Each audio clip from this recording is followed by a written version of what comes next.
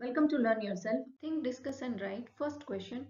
Which is the longest side in triangle PQR right angled at P? So we have to make this right angle and we have to denote it with P because they have specifically said that it is right angled at P. Now it has to be PQR. So P, Q and R. Anti-clockwise I have given the names and it is PQR we can also give the name like PQR like this and which is going to be clockwise. Only thing we have to make sure that it should be right angled at P. Now next, which is the longest side in triangle PQR? So whenever the triangle is right angle triangle, the hypotenuse side will be the longest side for that triangle.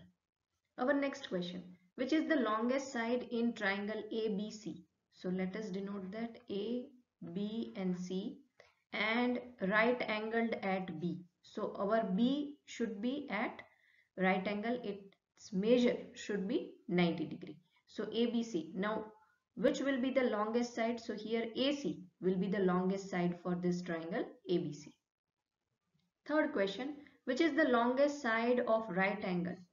So any right angle triangle if we are taking, which will be the longest side? So again the answer will remain same that this hypotenuse side will be the longest side for any right angle triangle.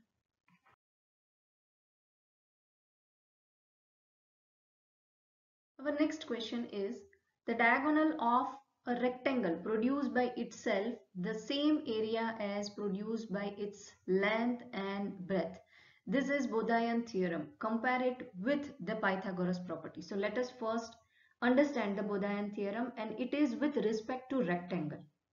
So here this is our rectangle that A, B, C and D.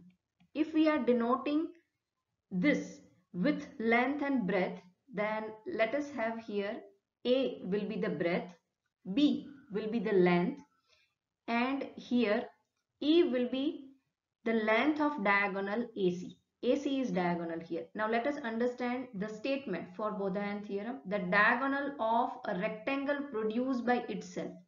The same area as produced by its length and breadth.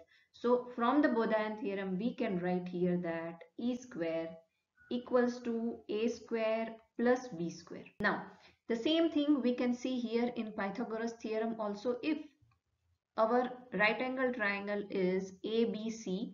In that we know that this is A, this length is B and then E will be the hypotenuse. Then we know that according to Pythagoras theorem, E square equals to A square plus B square. So here we can see that Baudhayan theorem and Pythagoras theorems are same but the Baudhayan theorem is with respect to rectangle whereas Pythagoras theorem is with respect to right angle triangle.